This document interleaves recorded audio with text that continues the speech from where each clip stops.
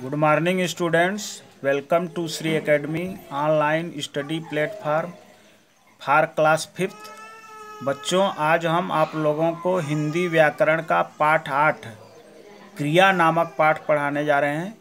Page fifty three fifty four प्रश्न एक, क्रिया की परिभाषा लिखिए, क्रिया के कितने भेद होते हैं?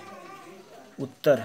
जिन शब्दों से किसी काम के करने अथवा होने का बोध हो, उन्हें क्रिया कहते हैं। जिन शब्दों से किसी काम के करने अथवा होने का बोध हो, उन्हें क्रिया कहते हैं, जैसे खाना, सोना, जागना, खेलना, पढ़ना आदि। क्रिया के भेद। क्रिया के दो भेद होते हैं। पहला सकर्मक क्रिया, दूसरा अकर्मक क्रिया। पहला सकर्मक क्रिया, दूसरा अकर्मक क्रिया। प्रश्न दो, अकर्मक क्रिया तथा सकर्मक क्रिया में अंतर स्पष्ट कीजिए, उन्हें आप कैसे पहचानेंगे? उत्तर, जब कर्ता की क्रिया का फल कर्म पर पड़ता है और वाक्य में कर्ता क्रिया व कर्म तीनों का समावेश रहता है तो उसे सकर्मक क्रिया कहते हैं, जैसे मंजू फल खाती है। जब कर्ता की क्रिया का फल कर्म पर पड़ता है और वाक्य में कर्ता क्रिया व कर्म तीनों का समावेश रहता है तो उसे सकर्मक क्रिया कहते हैं, जैसे मंजू फल खाती है। जब केवल कर्ता व क्रिया मिलकर वाक्य को पूर्णता देते हैं वाक्य में कर्म नहीं होता, उसे अकर्मक क्रिया कहते हैं। जैसे बच्चा रोता है। जब केवल कर्ता व क्रिया मिलकर वाक्य को पूर्णता देते हैं, वाक्य में कर्म नहीं होता, उसे अकर्मक क्रिया कहते हैं, जैसे बच्चा रोता है। क्रिया की पहचान। सकर्मक तथा अकर्मक क्रियाओं को पहचानने के लिए इन क्रियाओं के साथ क्या अथवा किसको लगाकर प्रश्न करना होगा? यदि कोई उत्तर मिलता है तो क्रिया सकर्मक है, और यदि कोई उत्तर नहीं मिलता तो क्रिया अकर्मक है। तीसरा, सही कथन के आगे सही का तथा गलत कथन के आगे गलत का चिन्ह लगाइए। क, सकर्मक क्रियाएँ कर्म के बिना पूर्ण नहीं होती।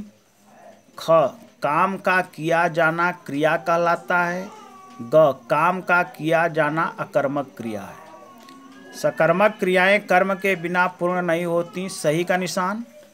ख काम का किया जाना क्रिया कहलाता है, सही का निशान। ग काम का किया न जाना अकर्मक क्रिया है, गलत का निशान। चौथा, सही विकल्प पर सही का चिन्ह लगाइए। क क्रिया कहलाता है, काम का करना, कर्ता का काम करना, स जब काम का करना या होना पाया जाए। क्रिया कहलाता है, जब काम का करना या होना पाया जाए, सही का निशान। स पर सही का निशान लगाना है। ख, एक कर्म वाली क्रिया कहलाती है, अ अकर्मक, ब द्विकर्मक, स सकर्मक। स सकर्मक सकर्मक क्रिया पर सही का निशान लगाना है। ग कर्म के आधार पर क्रिया के कितने भेद हैं? कर्म के आधार पर क्रिया के कितने भेद हैं? अ पाँच, ब दो, स तीन। ब दो, ब पर सही का निशान लगाना है। घ क्रिया के बिना वाक्य पूरे हो जाते हैं, बदले नहीं जाते, पूरे नहीं होते। क्रिया के बिना वाक्य पूरे नहीं होते, स पर सही का निशान लगाना है।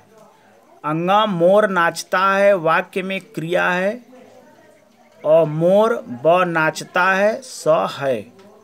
ब नाचता है नाचता है पर सही का निशान लगाएँगे। पांचवा, कोष्ठकों में दिए गए शब्दों के सही क्रिया रूप से रिक्त स्थान भरिए। क, नदियाँ पहाड़ों से निकलती हैं, निकल का हो जाएगा, निकलती हैं। ख, बच्चा जादूगर के इशारे पर नाचता है। नाच का नाचता है हो जाएगा। ग श्याम ने अपना पाठ याद कर लिया। करना का कर लिया हो जाएगा। घ, आपका क्या नाम होना चाहिए? होना का होना चाहिए हो जाएगा। अंग, लता मंगेशकर मधुर गाती हैं। गाना का गाती हैं। कर्म को क्रिया से मिलाना है। कर्म क्रिया। क फूल को मिलाएँगे, तोड़ना से। ख पत्र को मिलाएँगे, लिखना से। ग रोटी को मिलाएँगे, पकाना से। गेहूँ को मिलाएँगे, उगाना से। फूल को तोड़ना से, पत्र को लिखना से। रोटी को पकाना से। फल को काटना से। गेहूँ को उगाना से। सातवां, नीचे दी गई क्रियाओं को सकारात्मक रूप में बदल कर लिखिए। मैं खेलता रहा, गेंद से बनाना है तो मैं गेंद खेलता रहा। ख, वह ज़ोर ज़ोर से सुना रहा था। भाषण तो भाषण से बनाएँगे। वह ज़ोर ज़ोर से भाषण सुना रहा था। ग, वह खा रही थी संतरा इससे बनेगा वह संतरा खा रही थी।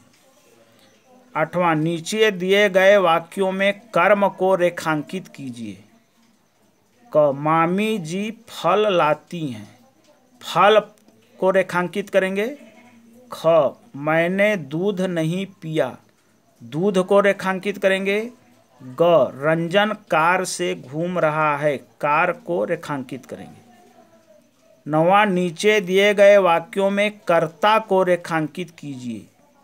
क हिरनी भाग रही है हिरनी को रेखांकित करेंगे। ख, सूर्य दिन में चमकता है, सूर्य को रेखांकित करेंगे।